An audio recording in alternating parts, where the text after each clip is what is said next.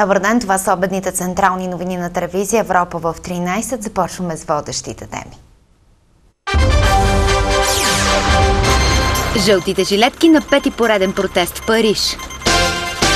ООН изрази сериозни притеснения от решението на Косово за създаване на собствена армия. Разкриха менюто за наградите Глобус.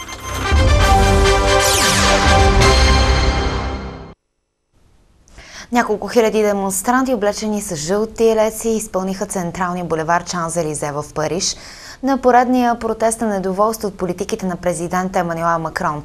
Целият град е блокиран от полицаи, жандармеристи и войници, а няколко десетки станции на метрото и спирки на градската железница остават затворени от съображения за сигурност. Няколко души са били задържани в Париж в събота сутринта преди поредните протести на движението на жълтите жилетки. Телевизия БФМ посочва, че няколко хиляди души вече са се събрали на площада пред Триумфалната арка. В града са мобилизирани 8000 полицаи, по улиците има и бронирани машини. Около 40 станции на метрото в централната част на Париж и няколко спирки на градската железница са затворени заради демонстрациите. Не работят станциите до Айфеловата кула, Латинския квартал, Лувара, операта и площада на Бастилията. Очаква се и значително нарушение в графика на наземния транспорт и експресните автобуси за летищата Шарл де Гол и Орли. Засилено е присъствието на гара Сен-Лазар, където пристигат пътници от предградията и други френски градове. Около сградата са разположени полицаи с маски и автомати, а вътре дежурят патрули, които проверяват част от хората. От атаката в Страсбург насам нещата се поуспокоиха, но смятам, че от следващата седмица ще се върне старото настроение. Сега имаме момент на затишие, но няма да продължи дълго. Протестното движение отново ще набере скорост. Няма да спрем, докато не получим каквото искаме. Близо 70 000 полицаи са мобилизирани за опазване на обществения ред в цялата страна. Протестите продължават, въпреки че в началото на седмицата президентът Емануел Макрон предложи поредица от мерки, сред които повишение на минималната работна заплата с 100 евро и отмяна на налозите за пенсионерите, които получават по-малко от 2000 евро на месец.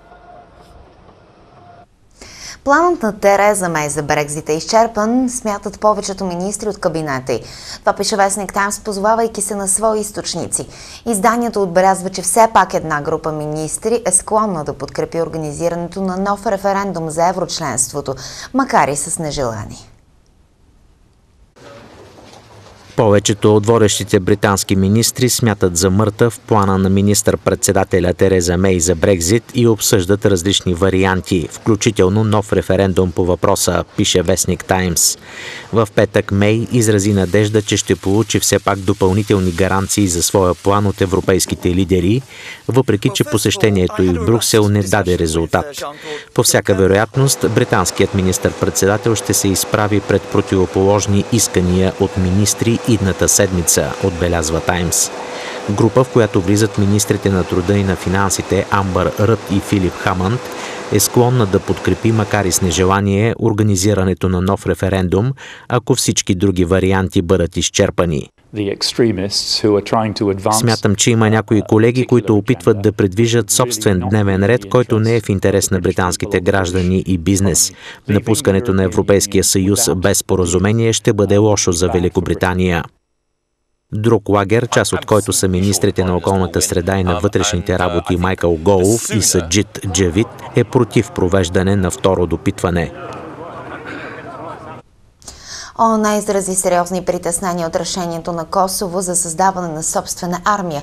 Генералният секретар на организацията Антонио Готериш коментира, че това решение е несъвместимо с резолюция на съвета за сигурност, тъй като влиза в противоречие с статута на специалните сили на ООН и НАТО в Косово, КЕФОР.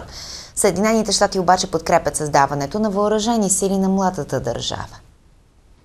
Генералният секретар на ООН Антонио Гутериш изрази безпокойство по повод решението на Косово да създаде своя армия. То е несъвместимо с резолюция 1244 на съвета за сигурност на ООН, тъй като ограничава отговорността на мисията под командването на НАТО КЕЙФОР, каза Гутериш. Според въпросната резолюция, КЕЙФОР са единствените въоръжени сили в Косово. Генералният секретар на Световната организация призова всички засегнати страни към сдържаност. Сръбският президент Александър Вучич осъди остро решението на Косово, което има подкрепата на Съединените щати и призова за извънредно заседание на съвета за сигурност. Представители на 15-те държави членки са се събрали на неформални разговори, съобщи дипломатически източник. Според него на заседанието, организирано с поддръжката на Русия, не се очаква да бъдат взети никакви решения. Съединените щати подкрепят създаването на косовска армия, като през октомври поискаха от Антонио Гутериш да подготви стратегия за прекратяване на мисията на НАТО в Косово. Австралия признава Западен Ярусалим за столица на Израел. Премиерът Скот Морисън обясни, че преместването на посолството на Камбера от Телави в Ярусалим ще стане тогава, когато бъде уреден мирно конфликтът между израелци и палестинци със създаването на две държави. Австралия официално признава Западен Иерусалим за столица на Израел. Това каза премиерът на страната Скот Морисън. Преместването на австралийското посолство от Телави в Иерусалим обаче ще стане след постигането на мирно регулиране на близкоисточния конфликт чрез създаването на две държави.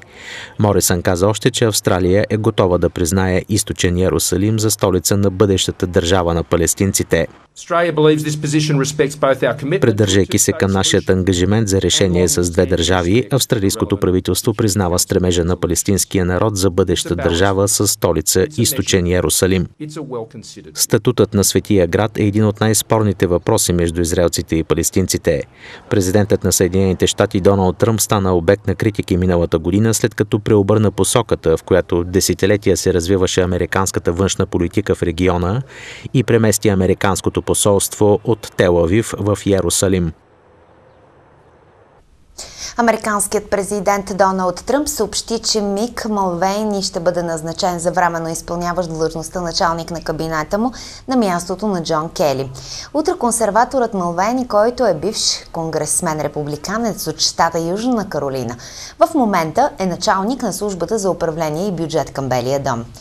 Мик е свършил изключителна работа в администрацията. Очаквам с нетърпение да работя с него, докато продължаваме да правим Америка велика отново. Това написа в Твитър Тръмп. Той допълни, че Джон Кели ще остане на позицията си до края на годината. Той е велик патриот и искам да му благодаря за работата му, добавя Тръмп.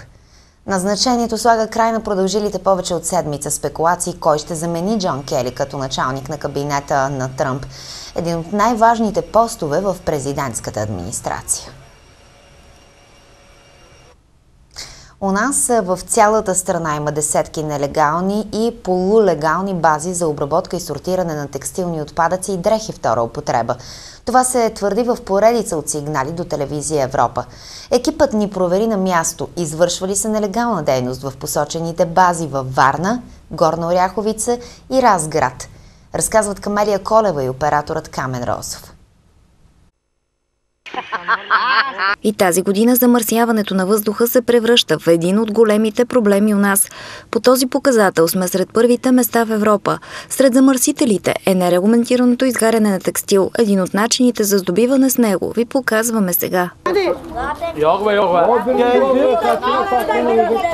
Първият склад се намира в град Аксаково, разположен на 9 км от Варна. По документи на площадката на фирмата се извършват дейности по сортиране на дрехи втора употреба.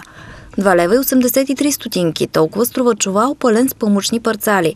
За покупката си получих и касова бележка. А има ли някакъв документ, с който а, хората идват и си купуват а, така на дребно тия отпадъци? Мисля, парцалите, които Парцалите, са... да, разбира се. Дружеството се занимава с сортиране на употребявани дрехи, които представляват по смисъла на закона за управление на отпадъци, представляват отпадъци. И за извършване на тези дейности се изисква разрешение, издадено по реда на този закон.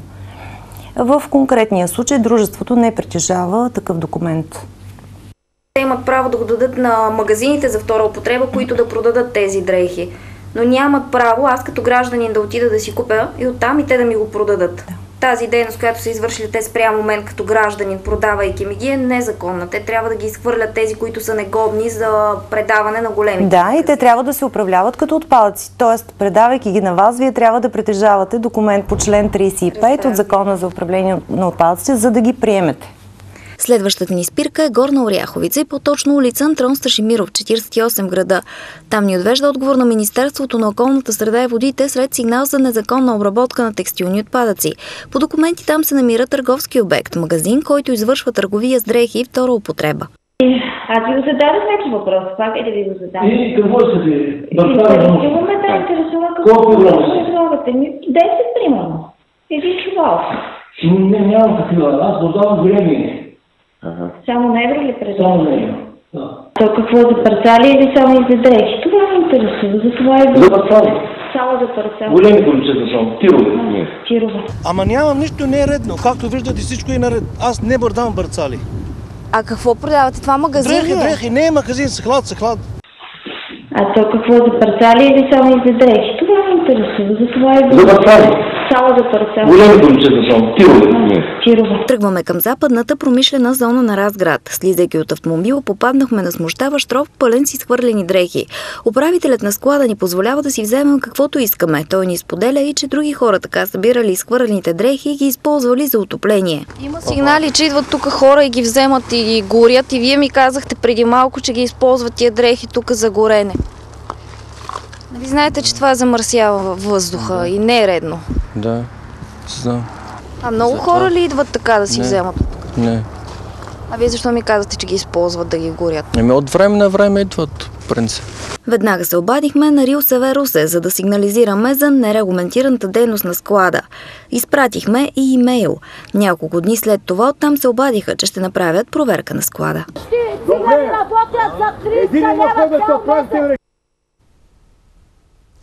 Започна поетапното раздаване на безплатни хранителни пакети за зимата на крайно нуждаещи се хора. Програмата е съфинансирана от Европейския съюз, а първите пунктове на Българския червен кръст бяха открити в областите Враца и Ловеч. Българският червен кръст започна раздаването на пакети с основни храни, предназначени за социално слаби хора. Около 14 000 са нуждаещите се на територията на област Враца, които ще се възползват от хранителните продукти, осигурени по програмата от Агенция социално подпомагане. Пакетите включват основни храни, сред които захар, боб, ориз, спагети и консерви с общо тегло от 24 кг. Новият продукт, който ще получат нуждаещите се хора тази година е олио. Искрено се надявам хората да отчитат тази помощ като полезна, така да ги подпомогнем в тежките зимни месеци, защото програмата в крайна сметка и това цели. Знаете, че ние получаваме списъците изготвени директно от Агенция социално подпомагане. Български червен кръст няма отношение към правоимащите лица. Нямаме право да правим нищо с тези списъци, освен да допишем в случай, че определено лице е пропуснато, срещу предоставяне на служебна бележка от съответната дирекция социално подпомагане, която удостоверява, че лицето има право и е принадлежи към определена категория правоимащи лица. 71 годишната баба Лили е една от тези, които има право на помощта. Тя живее сама, получава пенсия по болест, която обаче не й е достатъчна. В същата ситуация са десетки възрастни хора. За мен е помощ. Помощ. Аз съм тук и на такава програма има нали топъл обяд, но събота, неделя вечер си мисля, си като направя бобица, като ще бъде. Помощ е, помощ е. Сега, доволна съм. Нали, всекъде има нещо и плюс и минус, но е добре. Помощ. До края на февруари 2019 година хората, които имат право на тези помощи, могат да ги получат от двата раздавателни пункта на БЧК във Враца. На прага на настоящия зимен сезон оценката на Министерството на туризма се разминава с мнението на експерти относно това дали ще има или не ръст на туристите. Държавните специалисти са оптимисти, а според анализатори на сектора обаче ни очаква стагнация. Българският туризъм изпраща една успешна година. Така, например, по данни на БНБ за периода януари-септември, приходите в този сектор възлизат на 3 милиарда и 200 хиляди евро, което е ръст от 7% спрямо същия период на 2017 година. Броят на туристическите посещения също расте с 5% от януари до октомври, достигайки нива от 8 милиона и 400 хиляди. Какво обаче да очакваме през предстоящия зимен туристически сезон? Ще продължи ли този ръст? Това оказва се въпрос въпрос, който противопоставя туристическото ведомство от една страна и експерти в сферата от друга. Очакванията за зимния сезон към днешна дата са в рамките на 5% консервативна прогноза, защото последните две години имаме много големи ръстове от 19% сезон на 2016-2017 и 12% сезон на 2017-2018, над 1 600 хиляди чуждестранни туристи. Този зимен сезон също очакваме да вървиме с положителни темпове. В момента ние не можем да потвърдим прогнозите на Министерството туризъм, понеже те не отчитат по всяка вероятност спада, който имаме следствие на липсата на европейско председателство от една страна, поскъпването на турската лира, поскъпването на горивата и общо взето липсата на сняг, която се отразява неблагоприятно върху числата, специално за зименски туризъм. Според експерта причините да няма ръст при ски туризма са няколко. Две са причините, когато ние говорим за стагнация. Едното е поскъпването общо на, на, на услугите и на доставчиците на туристически услуги, включително горивата. От друга страна, липсата на сняг, която много неблагоприятно се отрази миналата година почти на всички европейски зимни ски пазари. И третото нещо, което е, това е, че ние нямаме нищо ново в нашия туристически продукт. Това, което общо взето излиза от България е ни положителни резултати следствие на това, което се прави у нас в частта ски училища, и обучение на, на, на деца и съответно семейства с деца, което се случва главно в Пампорово. Въпреки разминаванията в прогнозите си за предстоящия зимен сезон и Министерство и експерти са категорични в едно. Ключов фактор за по-нататъчния ръст на родния туристически продукт е развитието на альтернативните форми на туризъм, като селски, културен, спортен и други, както и утвърждаването на облика на България като целогодишна дестинация. Двудневна детска коледна работилница в Националния етнографски музей в София. Диана Тодорова сега на живо с подробностите. Добър ден, Диана! Здравейте, намираме се в Етнографския музей в София, където се провежда една страхотна инициатива, свързана с това децата да правят сурвачки, да се запознаят малко по-подробно с коледно-новогодишните традиции български, както и могат да приготвят хлябове. Тук до мен е доцент Петко Христов, който е директор на Етнографския музей в София. Какво представлява тази инициатива? Защо я правите? Стана вече традиция Националния етнографски музей при Българска академия на науките да прави ателиета преди коледа, преди Великден и преди 1 март с специални програми, на които ние се стремим да запознаем нашите деца с традициите на предците им и не само да ги запознаем, но и да им дадем възможност те да се докоснат до майсторлъка на предците, значи да изработят своята сурвачка, да обмесят и да изпекат своето коледно кравайче, да изработят коледната си картичка, т.е. всичкото това, което прави празника незабравим.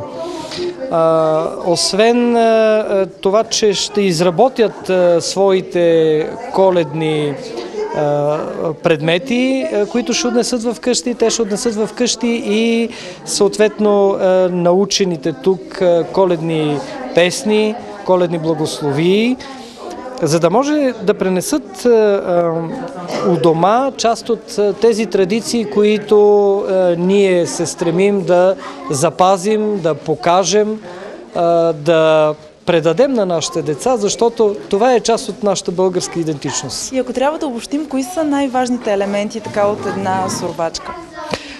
Най-важните елементи от една сурвачка са, разбира се, всичките тези неща, които се слагат върху нея, които са магическото пожелание за берекет, за здраве, за новото начало на годината и червения конец апотропея и символите на берекета, на плодородието, пуканки, сушени плодове и така, но най-вече самото дряново клонче, което удряйки с него, всъщност децата предават, пожелават здраве. Добре, всъщност в това ателие ще има и коледни песни. Децата ще се научат на различни а, коледни песни, традиции. Тук съм вече при а, Галина Луканова, която е ръководител на децата. А, кажете ни малко повече на какво ще ги научите, какви песни ще пеят и какво означават те. Да, в нашите коледни ателиета сме включили разучаване на коледарски песни. Знаете, че това е едно от най-хубавите неща, свързано с празника.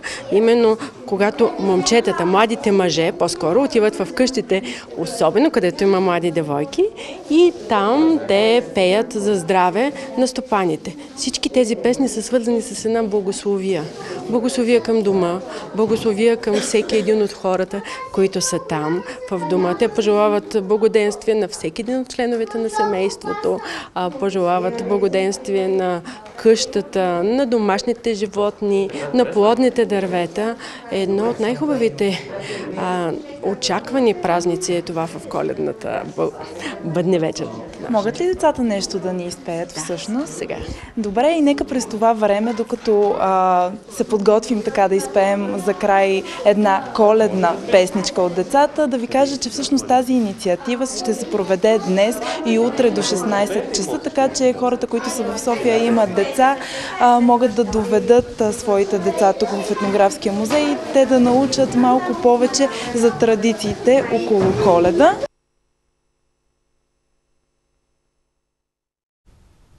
Още от детската коледна работилница в Националния етнографски музей в следващите ни емисии.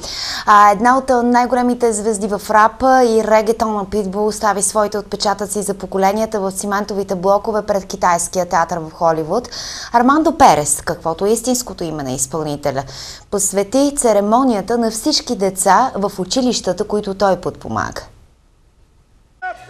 Световно известният рап изпълнител Питбул остави отпечатъците си в Холивуд, като ръцете, краката и слънчевите му очила останаха завинаги в цимента пред китайския театър. Питбул, известен с хитовете си I Know You Want Me и Give Me Everything, е отличен както за приноса си към музикалната индустрия, така и заради благотворителната си дейност циментовите блокове пред китайския театър свои отпечатъци за поколенията са оставили някои от най-големите звезди на Холивуд, като Мерилин Монро, Том Хенкс и Мерил Стрип. Искам да посветя оставането на тези отпечатъци на всички деца в училищата и особено на онези от мрежата СЛАМ. Искам да посветя това на всички онези, които се борят за свобода, за възможности за унеправданите, за онези, които правят и разбират саможертвите. Актьорът Джон Траволта говори на церемонията, като каза, че Питбул, чето истинско име е Армандо Кристиан Перес, е един от най-големите шоумени на всички времена, както и един от най-влиятелните филантропи в света. Следващите минути. Какво ще има на масата на звездите за тази годишните награди Златен глобус? Главните готвачи на церемонията в Беверли Хилтън повдигнаха завесата над менюто. Официалното меню на 76-та церемония за наградите на Асоциацията на чуждестранната преса в Холивуд Златни глобуси бе разкрито от екипа майстор-шефове, които се грижат за изтънчения кулинарен вкус на филмовите звезди. Хотел Беверли Хилтън е домакин на наградите през последните 44 години. Главният готвач Матю Морган и сладкарят Томас Хенци са избрали тристепенно меню с много зеленчуци в основното ястие и десерт без глутен. Вдъхновението ми дойде от собствената ми градина. Много от продуктите, които използваме за ястията на звездите, са домашно произведени. Първо го слагам в лед, после го пъвам нагоре и го оставям да изсъхне, след което полагам кувертюр от тъмен шоколад и довършваме с пралина, ягодов касис и фъстъчен крем с търготини бял шоколад. Листа с напитките се води от шампанско марка Моe Бел, чийто дизайн е на актрисата Камила Бел. Церемонията за раздаване на наградите Златен глобус е на 6 януари 2019 година, като носителите им до голяма степен ще предизвестят и фаворитите за Оскарите. С това се разделяме, не пропускайте и прогнозата за времето. Хубав след обеда.